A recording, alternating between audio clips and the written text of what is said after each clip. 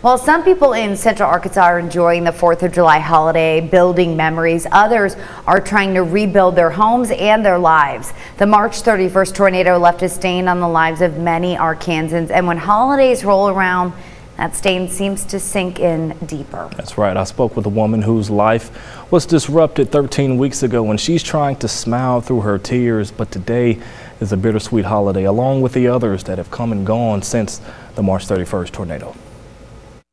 If it was a year ago today, this neighborhood would be lined with flags.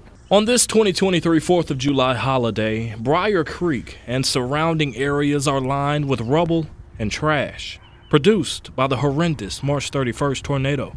Barbecuing, kids playing, swimming. Susan Kinney has lived in this home for 30 years. Since the tornado, Easter, Memorial Day, Father's Day, and more holidays have passed, and they just aren't the same. I come from a, a large family, and we're together every holiday. And it's not just one or two, it's the whole family. And that's how the families are around here.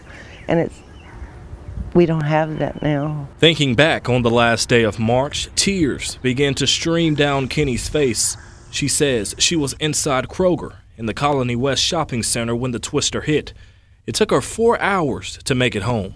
My husband took me inside, and uh, and it started to hit where it had hit and what was gone.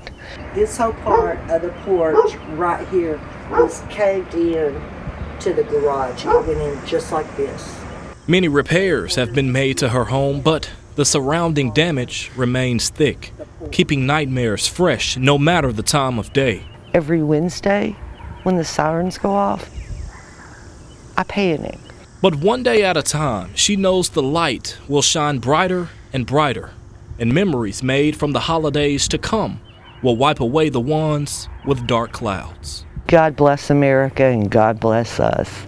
And please keep us in your thoughts and prayers.